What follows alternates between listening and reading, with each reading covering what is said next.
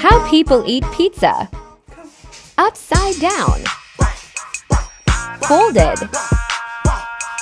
Crust first. WTF is she doing?